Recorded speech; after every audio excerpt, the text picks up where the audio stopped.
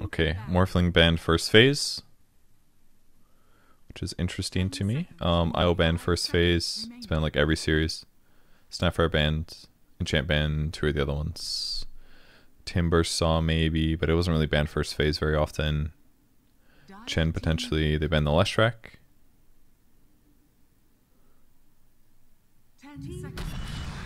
Slardar is the other obvious one. They Oracle Troll. Troll is clearly the carry that's favored against Slar because you can blind him and prevent him from getting the bash. Which give you some uh, hit matchups, like one place where Troll can actually beat Slar. Beat, beat, uh, or one carry that can actually beat Slar in these death fights in the laning stage. You can also, Oracle's also quite good because you can banish Sprint, or you can dispel it with uh, Fortune's End. So that is another cool matchup advantage. The Oracle Troll. Razor is going to steal Troll's damage, so it's a decent matchup there. Uh, they ban Timbersaw to deal with, or to give them a better laning stage potentially. Um, Razor would have a lot of trouble against the Timber. Um, they ban Arc Warden, which I'm not so sure about. Maybe it's a good Razor matchup, or like a, a bad matchup for Razor to play against.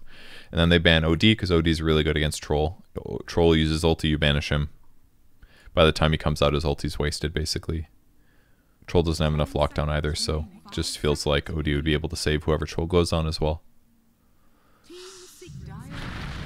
Tiny pick, not as common these days, but still can be very good. That'll be a 4 most likely.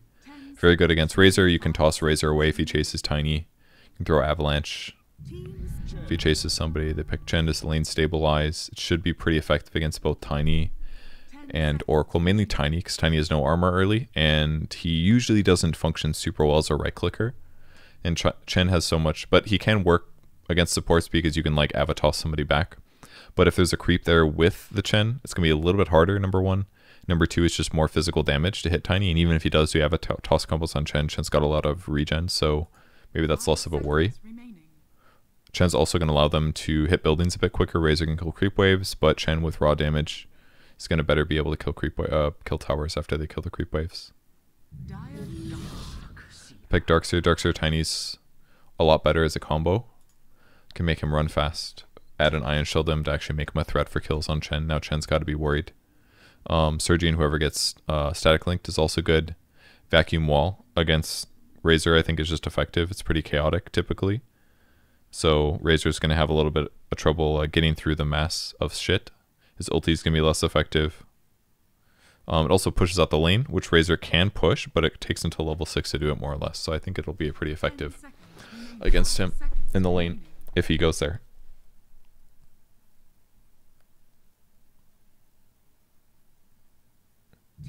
And Medusa as well. Medusa quite good against Troll. Troll ultis and Medusa ultis. Troll gets stunned. Which wastes his ulti? Uh, Life pretty good against Troll because you can rage off the blind, but the downside is that Troll ulti against Life Stealer once he gets like Basher and stuff is quite effective. But Life Stealer should be able to just uh, ulti into a creep or something, I assume. Ban Earthshaker very good against blocking troll off too, making just like his life a lot harder. They kind of have some disable issues, so like something like a fissure could like really fuck up their ability to take a fight. And then Underlord lowers damage with his aura against troll. It's going to have uh, tanky items, which make trolls sometimes mediocre damage a bit weak. And also um, Pit of Malice against troll is going to be a pain in the ass. So in some ways, like Nigma really dictated the draft by picking Slardar first. They picked two heroes that match up really nicely against Slardar. Oh, and they made a support too, of course, with the Underlord pick. They picked these two heroes that match up well against Slardar, but and the Razor look pick looks fine. But now they got to pick like a hero that just like does really well. Pick two heroes that do really well against Troll, basically. So by dictating this like carry so early in the draft, they get to adjust a lot of the rest of the basically three cores. They get to pick like three heroes that match up quite well against Troll. And because Secret picked a offlane hero that isn't a, a carry, it's now going to be like a mid troll probably, depending on what the lineup is. Could be Slark mid to leap away against Razor as well, but mid Razor, mid troll. If he gets linked, he throws the slow axes and runs away. Both axes should work well. Um, but it kind of makes them like if this is like one of their cores and they have like three heroes that match up well against it, then they only get one other carry, you know. And I guess Slark is pretty good here, but I haven't seen um, Slardar 4 either, so I'm kind of curious how that goes. This weapon looks very cool. But other than the Slark pick, which can be quite good here, especially against like Chen, um, I do like the, the Nigma draft against the Troll Warlord. It seemed clever. Felt like they got a lot of advantages here. Consistently. The Darkseer helped, but I don't know if it's going to help enough.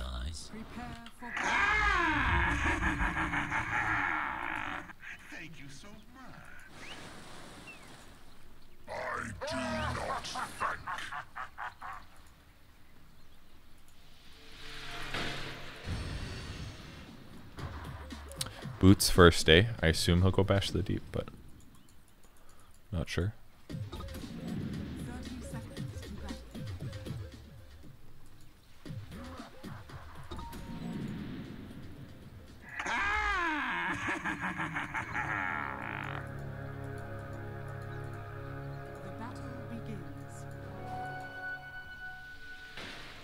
I got three actually.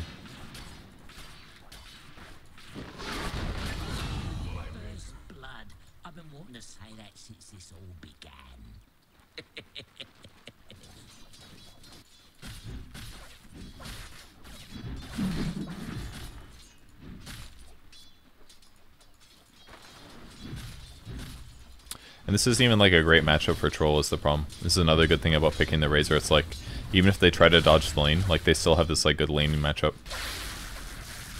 Like he's gonna steal 20 damage here and now he's just like, good luck last hitting against me. Okay, it worked, but...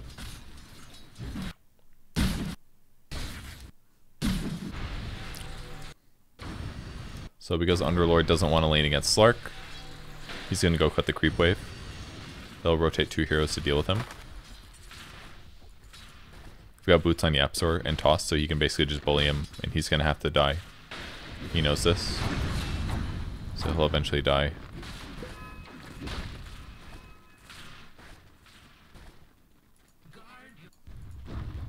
Let's see where he goes next. Back bottom again, Kuro's over here to side pull. Slardar did go bash first. Where do you take all this damage from?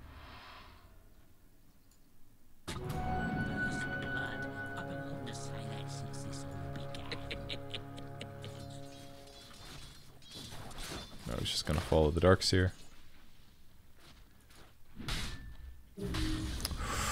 Ooh. Surge level 1A. Well, it's not terrible. This is why, this is one of the nice things about him doing this.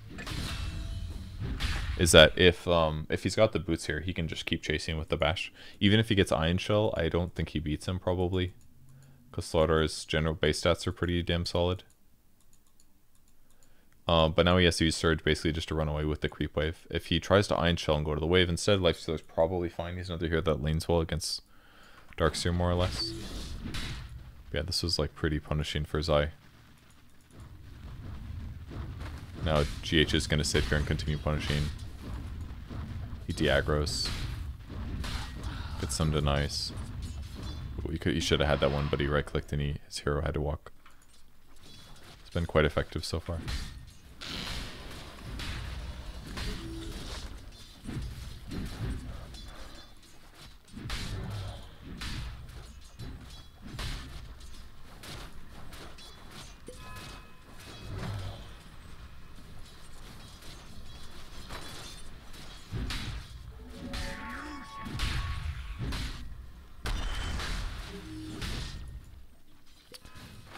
Does not look fun.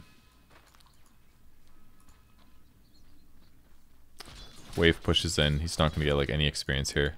He's going to have to go jungle now because he just can't fight against GH. He went Windlace next just to give him overwhelming movement speed advantage. There's a bug. His movement speed is not 320. It's probably like 370.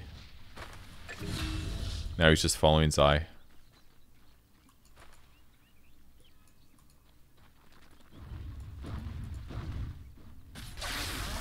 he's just gonna try to gank. He's here anyways. You are dead. This has been really sick. GH is destroying right now. It's been doing so good.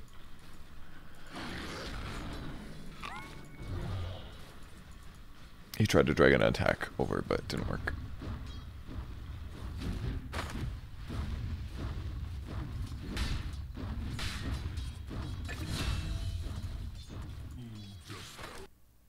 How's the other lanes been going?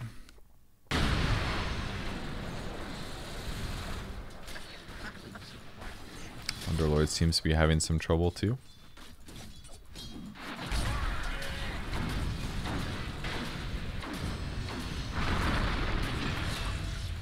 God, that's so much damage.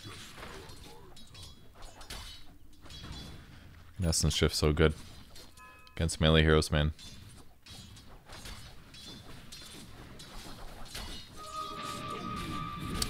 Just jungling now? Oh yes. It's a 14 deny Razor. There's a lot of people with really tough lanes this game. He's trying to block it with his body. So at least then it'd be tossed him back. Underlord instead.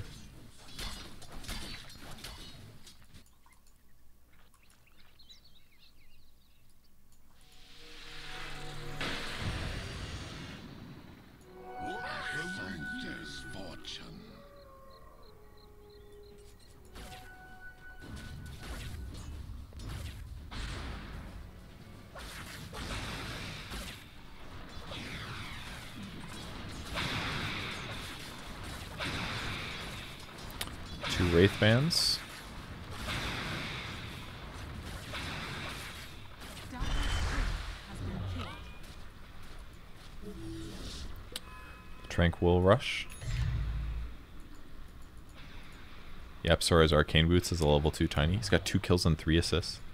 What the heck? Why do you get Arcanes over Tranquils? It's not very normal, I don't think.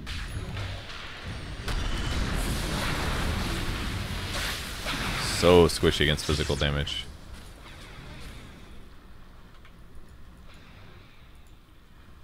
He's like a little faster, but he's not going to get this kill.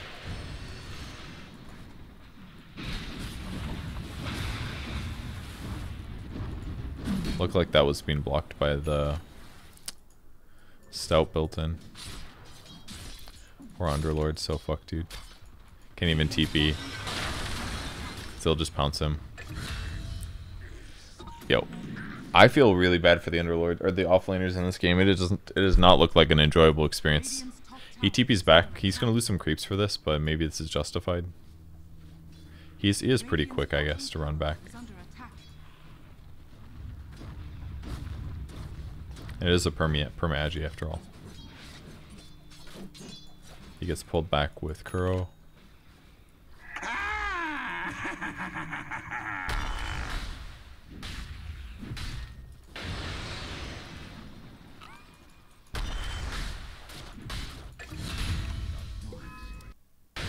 Mind control dying again. It's being followed.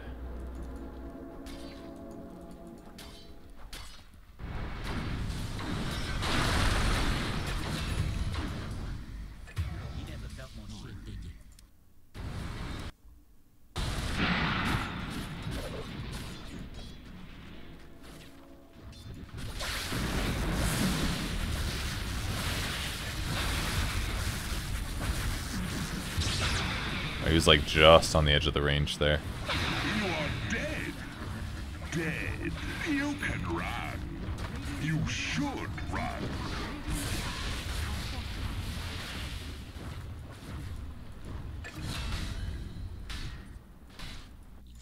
There kills Kuro. Only player having a good time on Secret is is just Slark. That's it. Nobody else is even close. Look at this.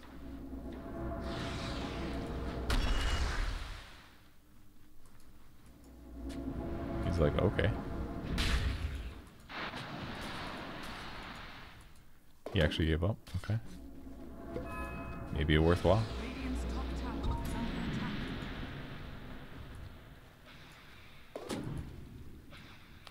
Ocean Heart.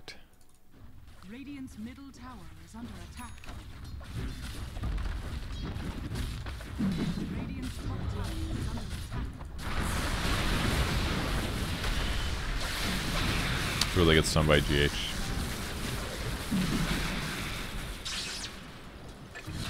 Barely picked up by Puppey. Oh, he's going Deso. Weird phase Deso. What's the purpose of this? Why Deso? Uh, very good against Tiny before he has his ulti. They'll be able to kill towers. Maybe.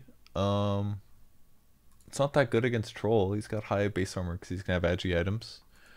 Slark has decent armor when he gets a lot of steals, but I, I'm this is very weird. Maybe it's their their ability to tower push that they're saying like, well, we don't have Leshrac, we don't have. Oh, I guess they've got they've got Slardar as well as the other thing. It's got to be that. Oh, it's Armlet. I'm sorry. It is Armlet Deso. Okay, that makes more sense. I thought it was just like phase into Deso. I was like, what? This is very bizarre. But going Armlet into Deso makes sense then. It's already a decent build. You're not going to farm as fast as something like a Mjolnir, but it's going to naturally combo really well. This is the build that I predicted would be the the one when they reworked Feast. Um, it hasn't been. It's been Mjolnir into Halberd. But if they already have a Slardar on their team that can lower enemy armor by 10, having Armlet Deso on Lifestealers are really going to be good. Because his raw damage is going to be super high. His attack speed is going to be good. And he's going to be able to destroy carries because of the amp damage. So that's why. Just like normal, slightly altered build to fit the, the game.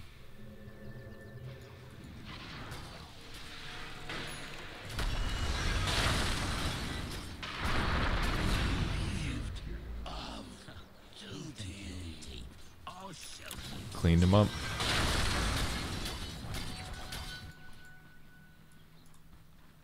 Zai surprisingly has only died one time this game. Here he's killing his Elude or his uh, Ion Shell. Royal Jelly for the Underlord.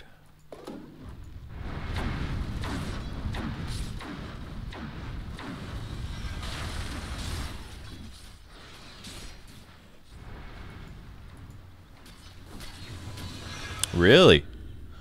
Interesting. Okay. Well, if you play Slardar support, apparently GH believes you should max Slithereen Crush, which makes some sense. Um, cooldown's the same, mana cost goes up, but it's pretty small. The main thing is that the slow duration is massive, up to six seconds. So you're almost up to like a perma slow with Slithereen Crush. The damage goes up as well, so even as a support, like if you don't have that many items, you're not right clicking that often. Bash of the deep is just not going to be that much damage because it's not you're not going to feel comfortable if you've only got like excuse me a bracer to your name to like hit people eight times in a fight. So if he instead has points in Slithereen Crush, he's still contributing damage and utility while also amplifying damage with Corrosive Haze.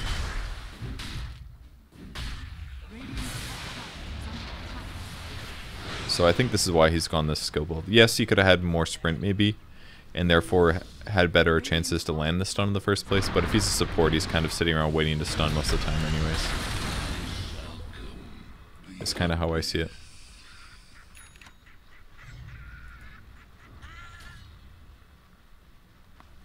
No points in Storm Surge just yet.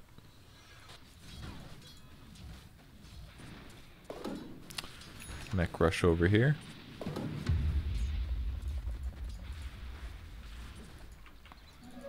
Where's goes health?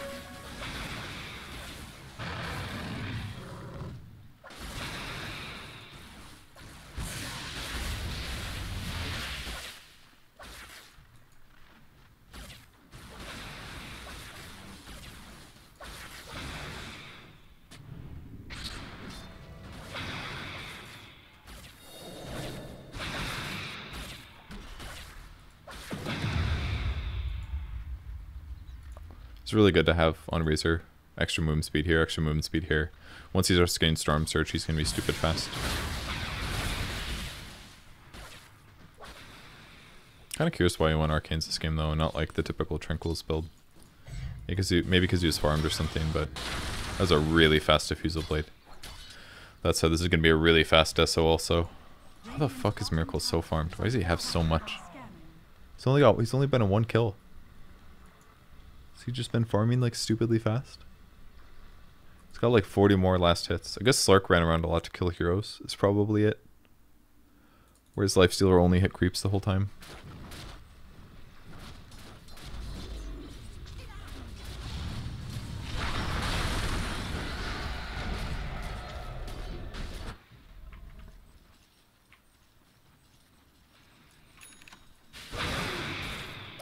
There's the Yules now. He got like 20 movement speed out of Storm Surge. Tower is under attack. Dire structures are fortified. Kuro should have mech coming nice soon.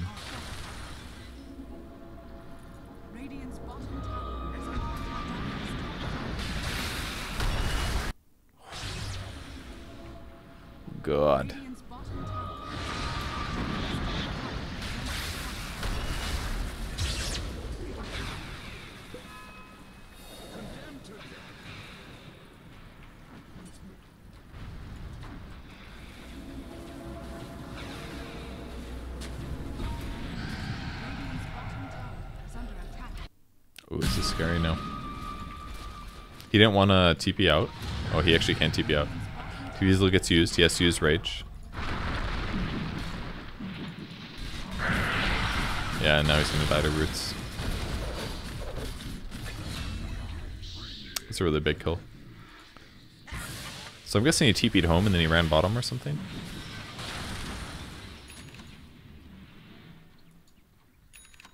Stesso is finished though. That was a really big kill. I'm sure they got a lot of gold out of that. It's a huge amount. And he's not farming for 20 seconds, of course. Is I over here still struggling. Going for Force Staff. Clumsiness pretty good on Razor. He's thinking about using it. Sort of got Yules. Yeah, he's gonna go for it. Movement speed on Slardar is really good too, though.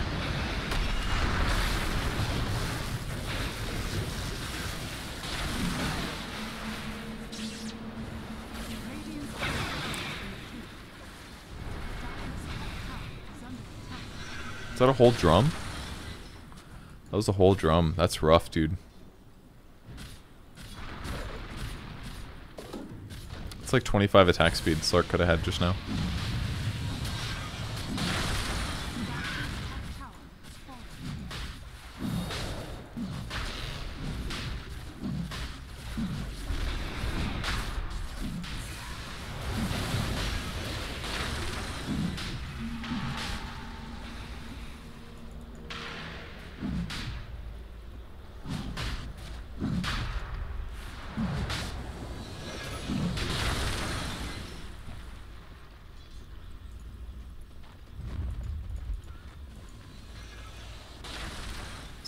Trolls for ice.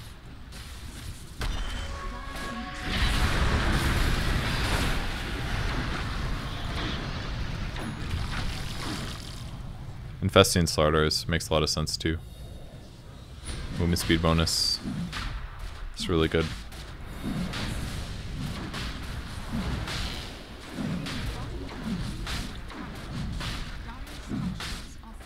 I guess Phase is better than Treads. You don't really need the attack speed. You've got a lot from Feast.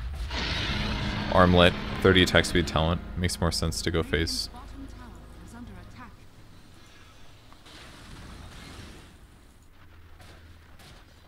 think I've really underestimated Yule's Razor. I felt like it maybe it wasn't as necessary anymore, but it's probably still really important for catching people.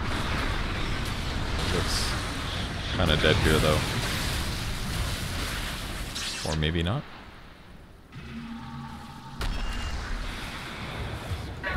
I tried too hard to go like raw HP with magic resistance, but the benefits of Yules are just good. Because you can get so much damage from static link that by the time they drop down, you just kill them. You still get mo mobility advantage, I guess.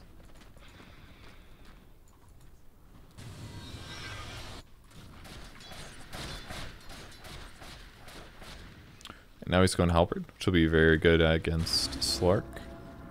Gets 30% bonus heal. That's part of the reason that the Halberd build's so good on this hero. Because the extra heal from Feast and open wounds and stuff. Radiant's bottom tower is under attack. Radiant's bottom tower has fallen. Dire's top tower is under attack. They go take the tower. All it takes is static link, and Slark knows he can't get the kill. The Diffusal usage. Starter trying to get blink. Then he can blink stun every whatever 15 seconds. God, that's a long cooldown. Used to be like 12 or something.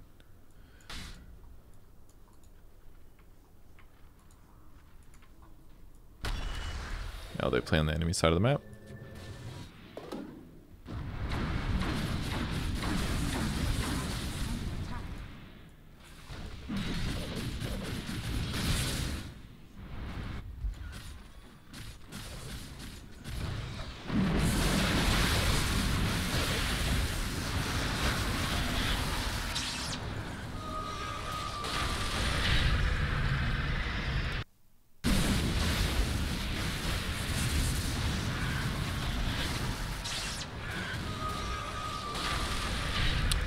Was so quick by Kuro. Uh,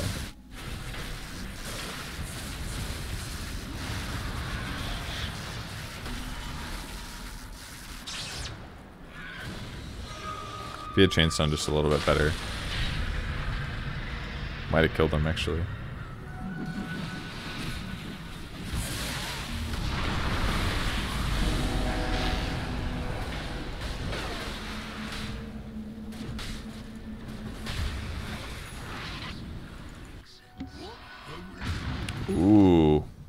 I thought he was gonna live with the South. Guess not though. Maelstrom Troll A. Radiant's middle tower is under attack. Maelstrom into Basher. Radiant's middle tower has fallen. 30% extra life steal.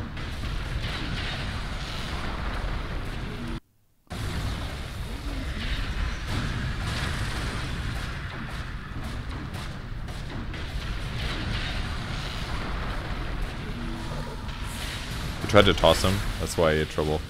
It looked like he didn't do anything, but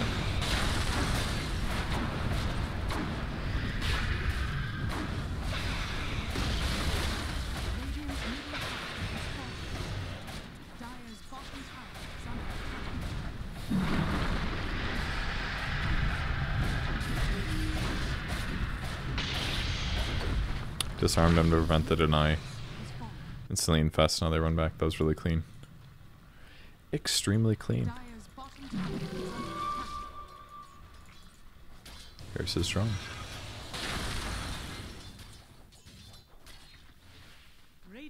Are Going Ags next.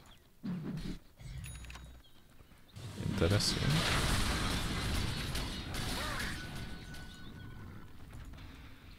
God, life's so, so far ahead now. Are they gonna stop pushing? No. Because that's what you do when you gotta heal bomb things. It's kind of similar lineup. Like a lot of the features of the last game are, are very reflected here. You got this carry guy that hits buildings very well and is hard to kill and is pretty good at team fighting. You're going to back him up with your healing support that can help ensure that he doesn't die when shit hits the fan, which they can between Mech, Divine Favor, and Hand of God. And then here's your offlane hero who buys aura items. You have your mid hero. This game doesn't save people, but can help fight, kill heroes, prevent enemy heroes from being as effective. And then GH is playing um, not a saver, but a fighter as well. He's an initiator, so kind of similar functions. And then Secret does the right thing. They hit the back line with their heroes to try to get some kills before they get high ground. But in the meantime, they put Observer and Sentry at the perfect timing. Good usage, Yule's usage there. They didn't put that ward down, they would have definitely lost Kuro instantly in this fight. They get the kill. Nisha's trying to run for his life. Force is helping, but he's gonna die. He's got ulti now. This is not gonna end well. Just too much damage. They'll Yules him, now he dies.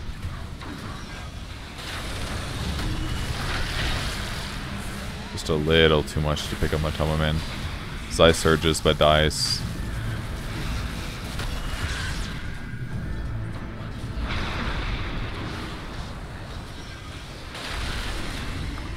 Alright, they get a kill finally. Ooh, that was close.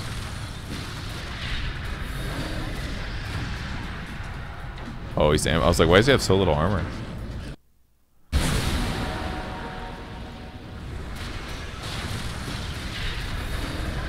Ooh, that was a huge mistake.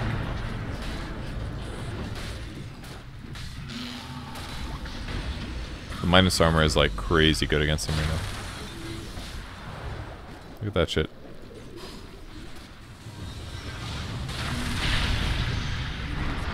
That's halberded.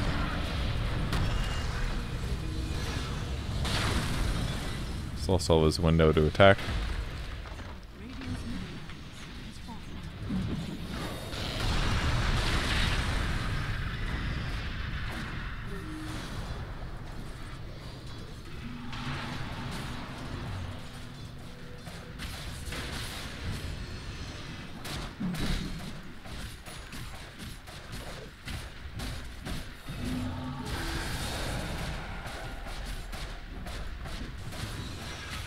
Back to the slow siege again.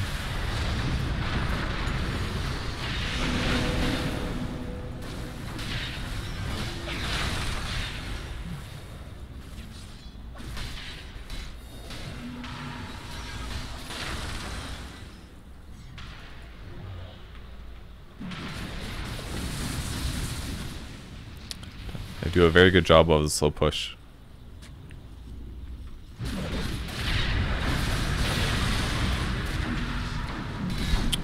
Not using rage. Now using rage when he sees an opportunity. Now they're gonna back till rage is back up again. Oracle ulti got used anyway, so it's not that big of a deal.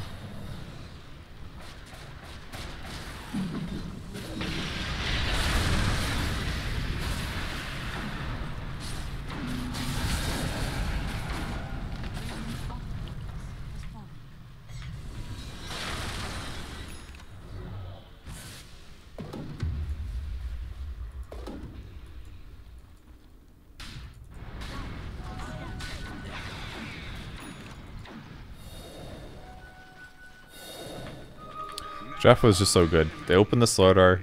Their opponents are like, "We got the Slardar counters," and then they're just like, "Well, we got the troll counter," and then, and they just kept getting better. Troll has just been behind. The only hero that had a good game was Slark, basically, but they had decent Slark solutions. Lifestealer really doesn't have to worry about Slark that much. He can always rage. He can disarm him. He life steals a lot.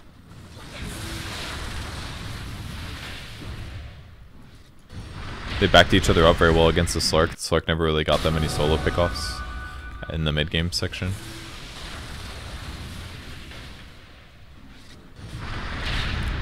Perfect time for mind control to show up. Saves Kuro's life. They haven't even fucking mech'd yet.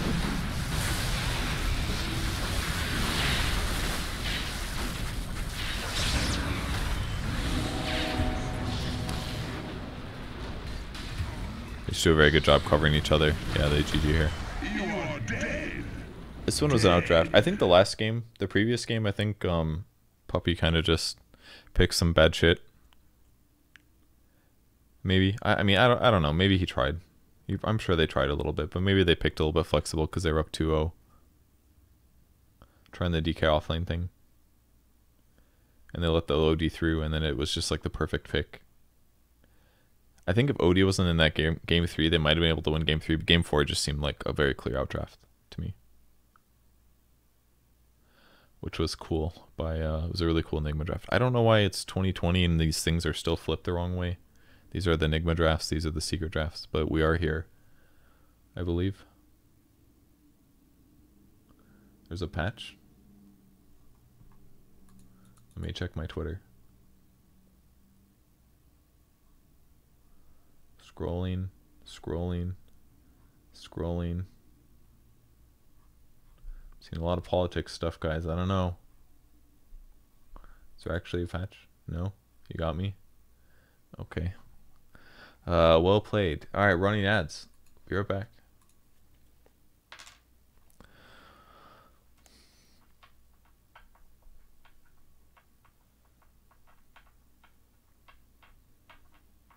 I have the desires to play Morphling, but I'm terrible at Morphling, so I probably shouldn't do that. I have desires to play Dragon Knight Meteor Hammer, but that's going to be terrible too.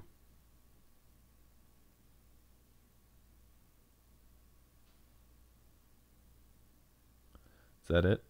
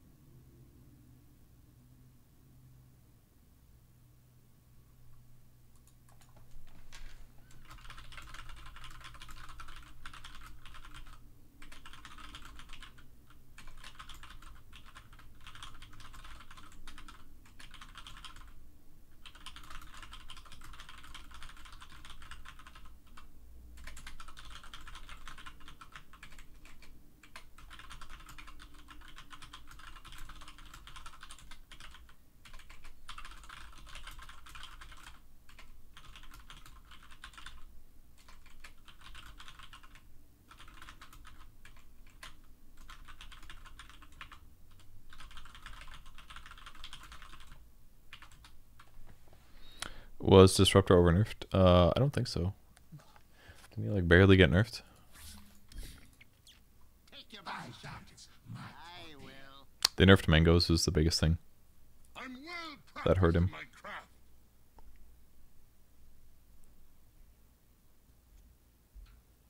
I guess Thunderstrike mana cost's gone up too. The nerf- nerfing mangoes and this was kind of big. Uh, Ags doesn't go for seven seconds anymore. That one's pretty small though.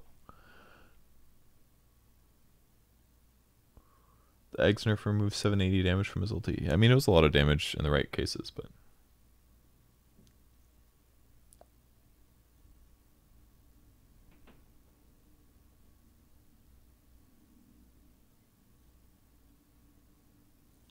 what is my official title as a caster for Valve Dota? What does that mean? I don't work for Valve or Dota. They hire me sometimes as a contractor, but I don't have a title. What does that mean? What should a position five pick versus Snapfire? Um, that's a good question.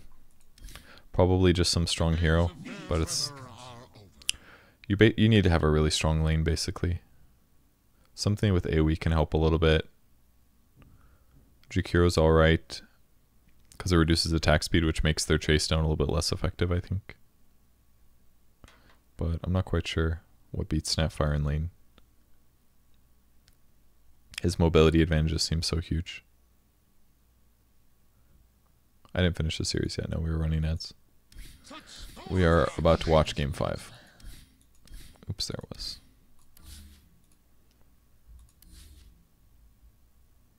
Oh, this is a really fast series, actually.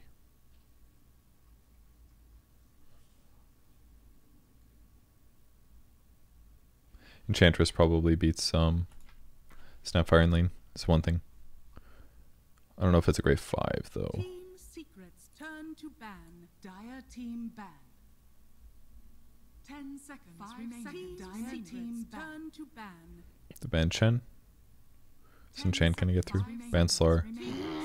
Chant still banned. Snapfire. Ten seconds remaining. Five seconds remaining. Ban. Oracle ban two. That one's a little bit meta based on the series so far. Timber. Turn to pick. We got Snapfire in the pool. Ten seconds remaining. Five Some other ones that are probably obvious that I'm missing. Ten seconds remaining. Five seconds remaining. Nyx Lesh, their tower pushers. Meteor Hammer. Edict. Lifestealer response good against stuns that are super unreliable. Not super unreliable, but unreliable. He can always rage out of Euls, for example.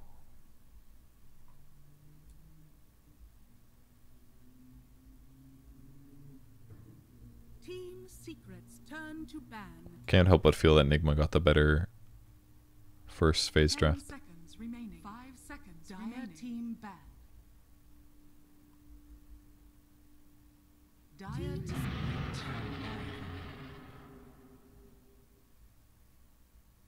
Ten seconds remaining. Five seconds remaining.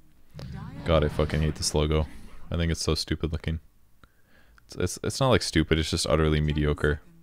Five seconds remaining. I don't see it. Is there a G in here? I have trouble seeing it. Like I, there's kind of some. There's an N here, and there's obviously an M. Nigma. The M is very prominent in that word. But I just I don't think it's a good logo. Um, where are we at? Snapfire, Nyx Lesh, Lifestealer. Um, banned Batrider. Why'd they ban Batrider if they have Nyx? Maybe too worried about the laning stage disadvantages and like Lasso against Lesh is good because you can pull so out of position. Ban um, Rubik against Nyx makes sense. Lots of good spells to steal on both of these guys. Ban Razor against Lifestealer. Ban Beastmaster. Is Beast a snap counter? ten seconds remaining. Five seconds picked Shadow Demon. Uh, Winter Wyvern picked first though. Shadow Demon as a response. SD is okay. The ulti is good against Leshrac if he uses himself, so it gives you an option against him. You can save people with disruption. So on paper, Shadow Demon's decent against Lesh and other Eul's carriers.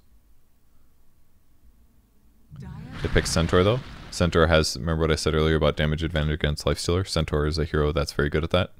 It's been consistently picked over Pro Dota as a high damage offlaner to contest a low damage safe lane hero. It is a little bit difficult to stun Lifestealer though, and they don't have very good setup other than like Nyx stun or Winter Assassin or Winter Wyvern. Ulti. Um, they picked Tiny. That's going to be a tiny core, probably a two, I'm guessing. Which, I mean, unless it's like a Snapfire core, but I think it's more likely it's a tiny core than a Snap core. Snap core is not doesn't really do that much. I'm just saying they, uh, it helps to have a stun setup that reliably can catch a life stealer, whether a silence and a stun or something else. They pick Pango, which will give them very good team fight. That's probably their three. Could be their two actually. And then Miracle carry Faceless Void with very cool set. It's got a lot of expensive things. This is expensive, that's expensive. I don't know how expensive this hat is, this face is. The one with the brain missing is pretty expensive, like a couple hundred, I think. The bracers are like 200 though. Anyways, um, Void against this gives them pretty good team fight. This is the one way to do like Chronosphere on Lifestealer with stun follow up. So their ability to team fight is like incredibly good right here. Leshrac, Nyx Assassin, Winter Wyvern, Centaur, Void. It's like they're all good team fight heroes.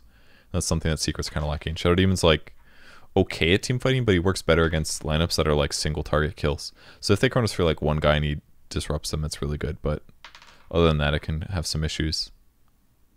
They've got like Snapfire ulti, but like they have some combos that can work well with Snapfire, but I'm not super sold. We'll see how Yapster does with it though. I'm curious to see how the game goes. But the team fight of um, Nigma looks really strong to me.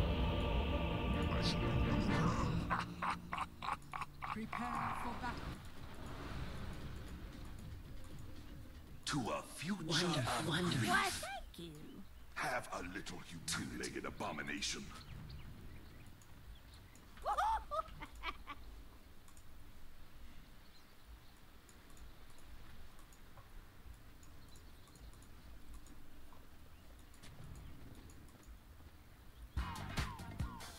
Like almost has a face. Thirty seconds to It's very close. From mind control. Ooh.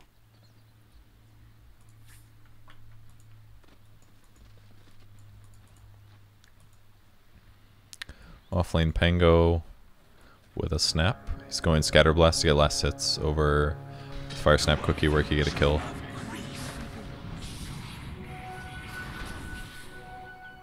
Disrupts so he doesn't have to worry about contesting the the, the rune. Tiny mid. Could potentially do like disruption mid into toss back, but unlikely. Kind of a weird looking item build. Like this guy's got 14 damage over MATUMBAMAN. Which basically offsets the power of the quelling.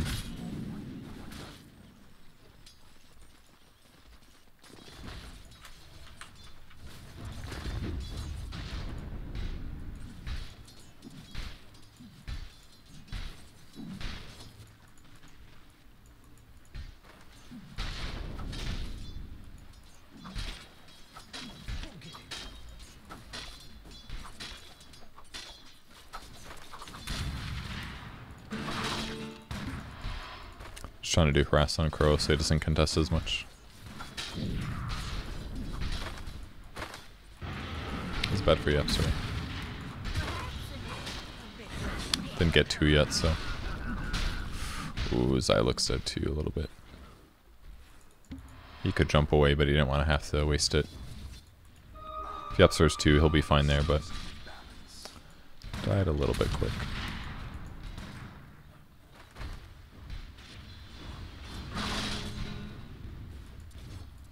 Missed the range creep or something.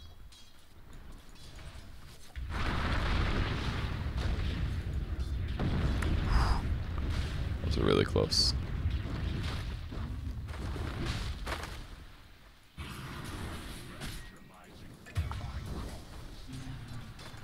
This dual lane is actually like decent. That's what it seems like to me. Like they paired like a kind of a weak three kind of. Pango's ability to like fight to the death is not very good, and that's kind of where Snapfire uh, strives is like having cookie follow-ups with other disables, but they they sacrifice their laning stage a little bit to go for other stuff instead. Not that the lane is necessarily terrible, I guess, but it's just a little bit weak in terms of them getting kills. Not really sure what Puppey's been doing down here. I'm gonna go back and watch though, I'm slightly curious. Again, he got Disruption so that he could disrupt to guarantee the last hit. He's gonna run all the way bottom. Trading hits, but he doesn't really trade really well. He can disrupt, which will guarantee the pull through doesn't. The Diagro shouldn't happen, but it will still work. If you have Nightmare, it works better because it's 4 seconds. It's only 2.75. Goes around to pull the creeps. Puppey's going to run after him, but can't really do that much because he's got boots, so he's way faster. He'll come over here and try to guarantee the last hits. Disruption is going to work this time. This creep ran a kind of a weird direction, so he'll still get one, but... By doing this, it basically guarantees that this creep wave doesn't get denied. Away from Lifestealer, basically. Now that this is still great for Lifestealer. Trying to pull. Semi-successful. Nyx ends up pulling two creeps instead. He pulls at the large camp instead. Gets a little clap in. Vanishes to get the last hit. He's done pretty well.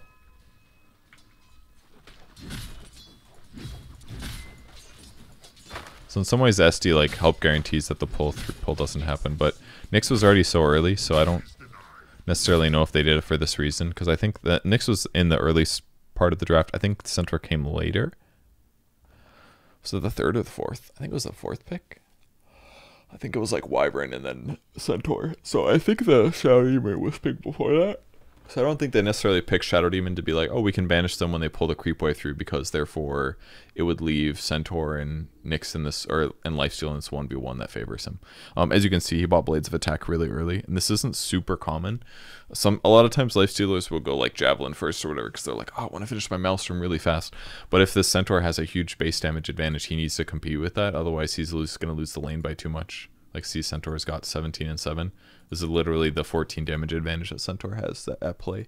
So, made worse, of course, by the fact that they have a Shadow Demon, of course. But um, I think this is a pretty good matchup. They basically pick Centaur to like win this lane, and then Lifestealer has got to buy damage items to try to compete. So he's rushing towards phase as soon as possible, so that he can actually contest the lane. Shadow Demon will finally get a pull, and then a little mana burn here, but really doesn't matter that much. Banish to the creep wave. Doesn't get pulled by him.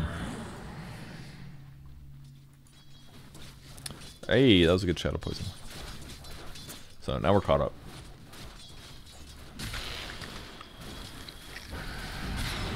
It certainly can do some damage, but it's not like guaranteed easy.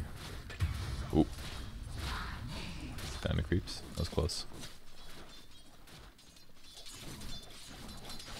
The Hedra Centauri.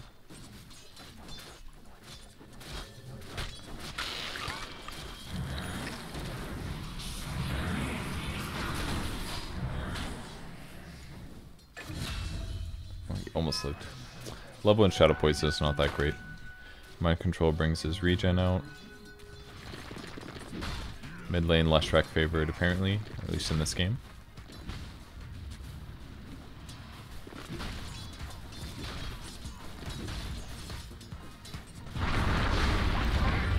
Abatos was a failure. Didn't get the bonus damage. Now he's worried about the stun. The stun missed actually. I don't think killing the Lesh is very easy. Yeah, this is why he bought two bracers this lane. Like, the only way he loses his lane is if he gets bursted down, and because that, that's what Tiny does, right? You do Avatos, you do a lot of damage. If he goes Null Talismans, he's got more mana, he's got more spell amp, but, like, he's pretty vulnerable. But here he's got 12 strength instead of 6. He's got an extra 10% equivalent magic resistance, so much lower chance that he dies when he gets gone on. So he rushes the double bracers, that way when the gank does come, he doesn't feed, Tiny doesn't get to snowball this into some advantages. It gets him faster timings, and then he gets to blink Avatos people around the map repeatedly, which fucks up the whole game for Nigma. Instead, he can just die in his lane. He won't die in his lane, and everything will be better, basically.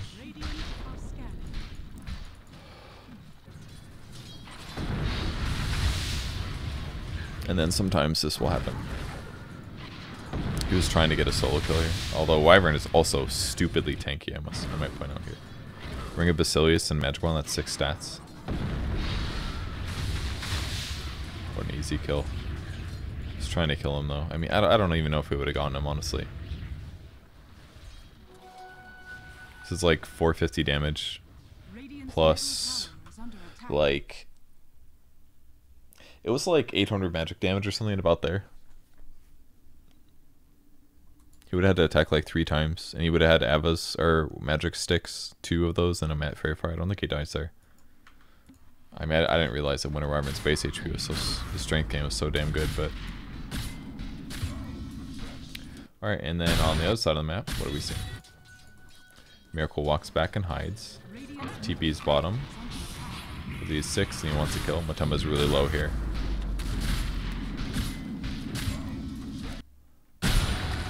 Kind of cool. Toma barely lives. He moves away and TP's knowing like, eh, he's gonna go back and hit creeps. He's greedy.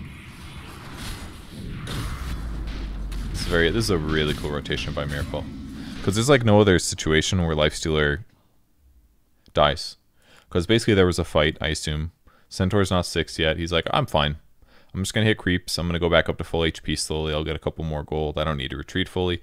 But because Miracle recognizes the farming patterns of what you do as a core, he's like, oh sick, I can rotate for this.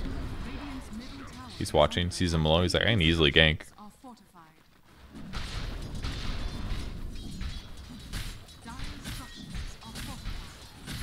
So he rotates bottom. That's gonna force mind control jungle. The only thing that's bad about doing this is that now there's nobody top to hit creeps there. So what will happen instead is that somebody's gonna go top to try to get as much golden experience as they can. In this case, it's GH. He will be mildly successful. He's got a lot more damage than I thought he would. But just a bracer. Now MATUMBAMAN goes top. His bottom is basically opened up at this point.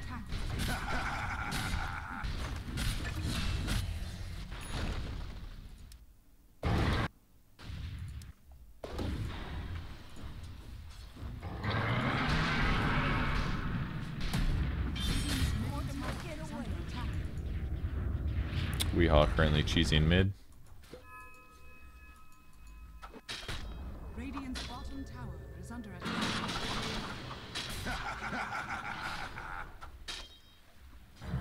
I was like, how did Shadow even get a kill? I can't wait to watch how that goes. So there's the Avatos. Doesn't do fucking anything. structures are fortified. Now they're just falling apart big time. Tiny does not have very many last hits mid. They basically lost tower is under attack. Two lanes, at least, possibly three. They haven't lost top, but it hasn't gone incredible. Now they switch mind control to off to safe lane because this is the lane typically where people start pressuring next.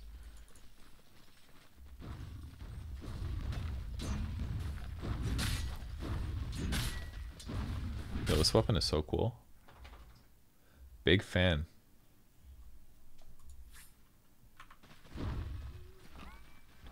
My control set is legit. It's all the same set, I see.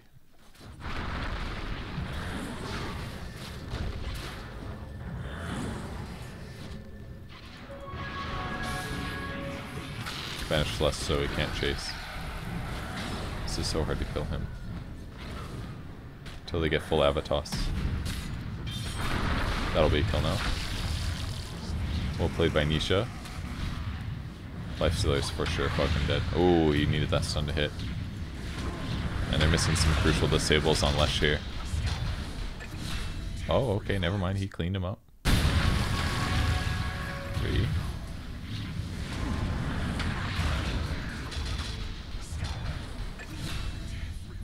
Get some Shadow Poison. That makes this passable now. Looked really bad otherwise. Bad time for a bash. Miracle Owning, use time dilation, skill it early. It's worth getting like one point probably. The extra slow stuff is quite good. Tiny still doesn't have his ulti yet, but that's usually because it's better to go what he's doing. They ward, they see Zyno. He can jump for this. Probably knew that he hadn't used that he already used jump. But that's another big kill. They're kind of just dumpstering this game.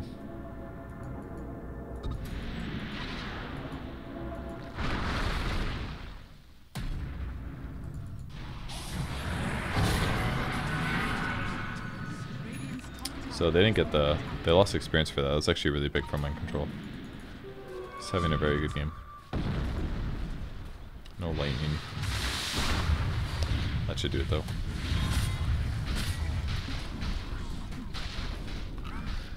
Nisha may not be the tiny whisperer, guys. Just feel like, why is I I I, I don't know. I'd have to go back and watch, but like, why is he here doing this job? This is like something that I do when I play core. Sometimes I'm like, I I guess I'm a support now. It's like I go around and try to get shit done. And that's a lot of times what you need to do is tiny, and maybe that was their plan as a team. Was that tiny is the space creator, but because he didn't get any Leshrac kills, he just never was really that far ahead, and feels hard.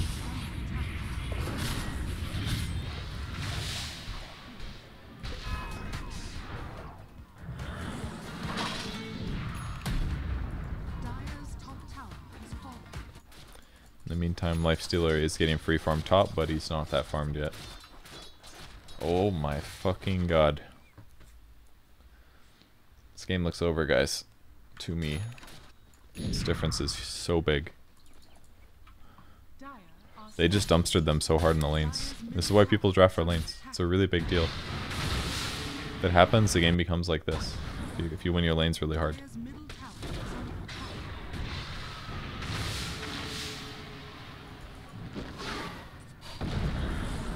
Toss back. Great stun by Lesh though. Fortunate banish. Great dodge of the uh, Splinter Blast. It's gonna be a miracle kill. Never mind, he ran away just in time. Man, Zai deserves this kill so bad, but he's not to get it. Tried to toss him too. Now he gets chronoed. Catches both just barely. Man, Zai really deserved that one. I guess a regen rune. Which means that they get to keep pushing. If he doesn't get a regen here, he has to go back to base to heal. And then they're less likely to push down here. But because he got it, they will keep going. Pressure does not stop.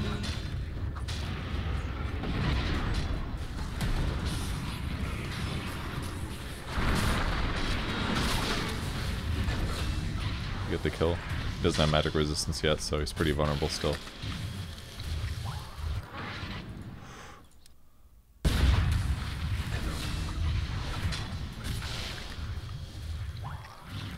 They did that basically perfectly, but just a little bit too late.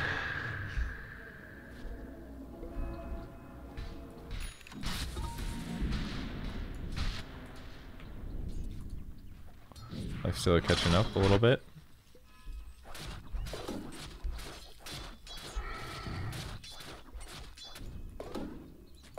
This really was a really good series. I've been I've enjoyed watching it.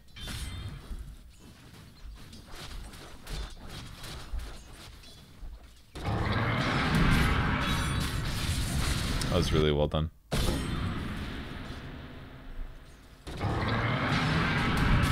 He's not going to see it coming because it comes from trees, so... He does the first stun that guarantees the second stun. They got enough damage to get him so low. Even if he could rage afterwards, he still would have probably died. Well played. Now they get to bounce between these two areas. Flesh will destroy the tower now, though. Bracers into Euls. So they can counter the Euls, but he's still pretty tanky. But they're just all over, dude.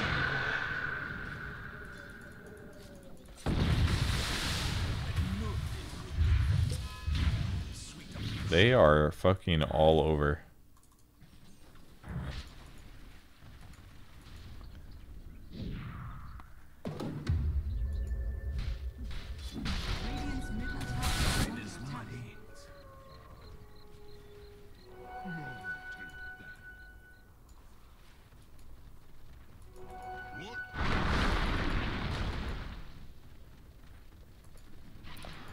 The hood, it's a lot harder.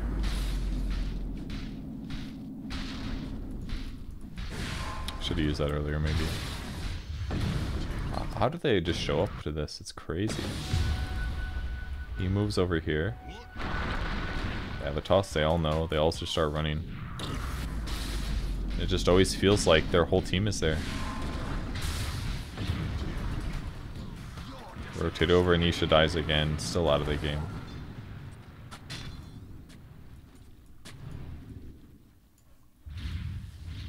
It's another one of those wards. I really gotta put these over here more. This one's quite nice. If you're Radiant, it makes sense. If you're Dire, you'd probably want to put it on this one. So you want Vision over here, most likely. Although this Vision is good too.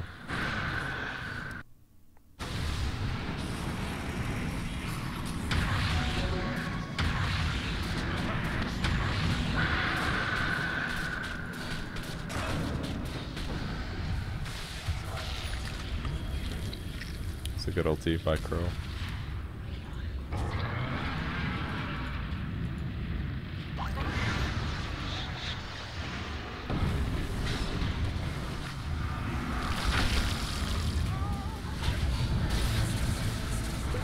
Thomas trying desperately to get kills. He's doing pretty good damage.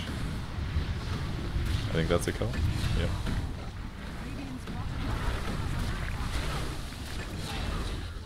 Okay. Was a good fight. How many buybacks though? Not sure. Radiant's bottom tower is under attack.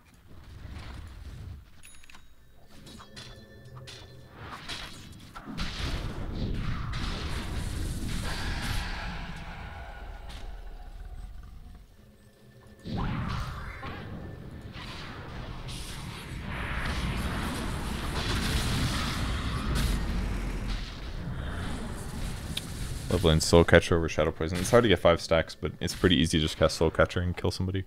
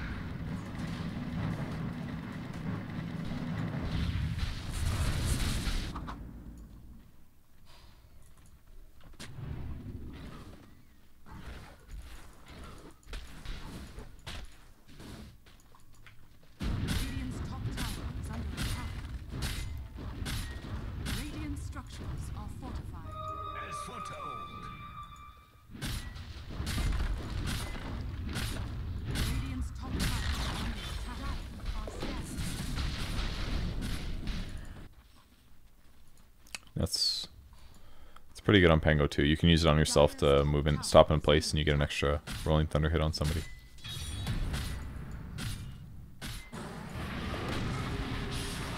I believe he is dead.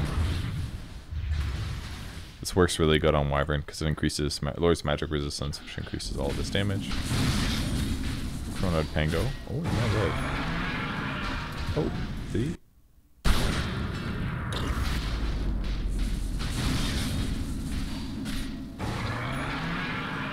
Wow. The time dilation actually wrecked him. I thought he was fine, but it's barely slowed down the time for his last one. I mean, that that was even better with new time dilation. Like it's, he had a better chance with this change time dilation than the last one, but.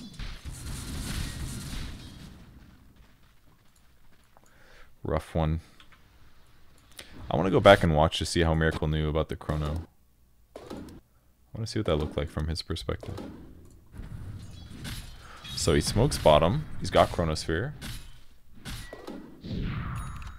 Centaur's pushing the lane. He's running over to this fighter. He finds him. He jumps. He jumps. Okay, so it's pretty straightforward.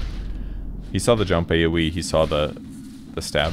If in in some ways, it would have been better for Zai if he had not stabbed this way. Because by stabbing this way, there's this visual indicator basically that shows like, okay, he's over here. Imagine if he stabs this way instead. If he doesn't see where he jumped, he doesn't see the stabs, and he doesn't know where the angle is. Because if you see the stabs, you know where he is. So, you could criticize Zai maybe for not stabbing to the right or stabbing to the left. Because then Miracle might not have seen where he had jumped to. And then he wouldn't have been able to Chronosphere. But that's very small stuff. Not really his fault in the moment when you like, oh shit, there's a void, you know? I mean, dying is a big mistake, yes, but I, I don't... That's like one of those small things where you can like watch the replay and be like, oh wow, I wouldn't have died if this small thing, if I adjusted this small thing in behavior. And in the future, yeah, he's not gonna maybe do that, but in those little moments where he's like, I need to get away instantly, and he happened to move his mouse up instead of a different direction, it's like, those those things are gonna happen. And only like really good players will punish you. Typically. It's not the most unbelievable thing, I would say.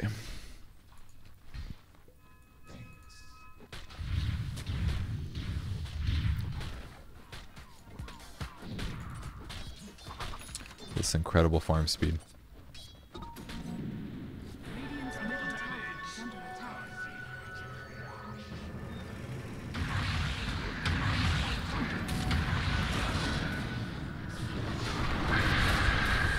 I'm confused. Why did he do this?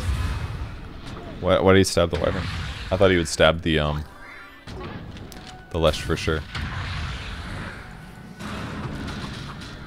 So I think he thought that nah, Shieldcar's only level one.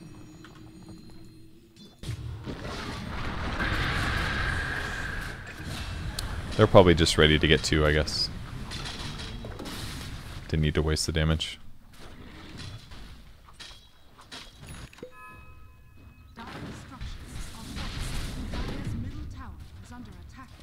Yeah, it's definitely better than Broom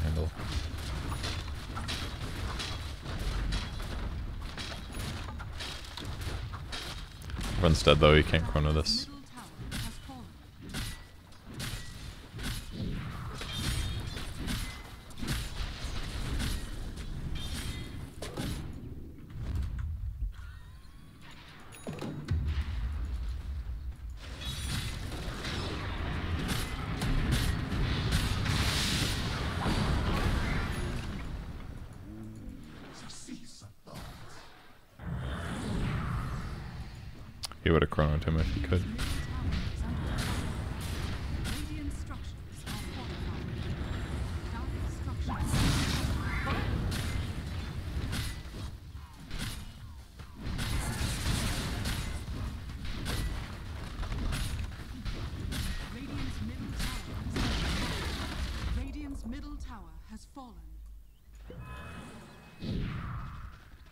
Oh, he got net, I see.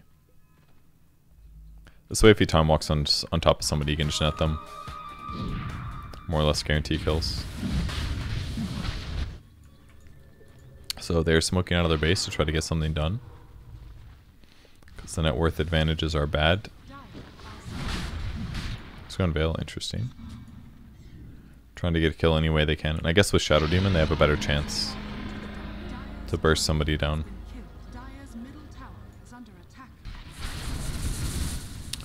Well, that's the worst possible hero for it to be, because he has an Aegis, so even if they kill him, it doesn't give you much.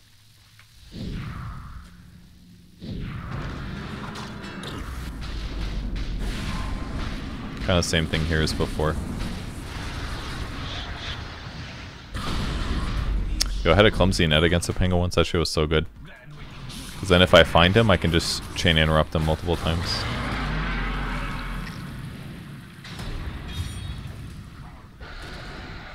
Oops. I don't know, man. This game looks kind of over.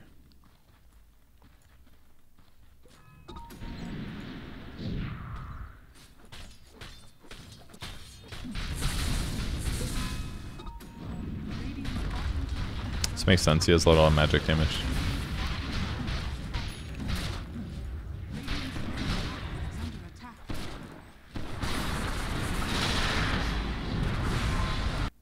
That was actually really sick.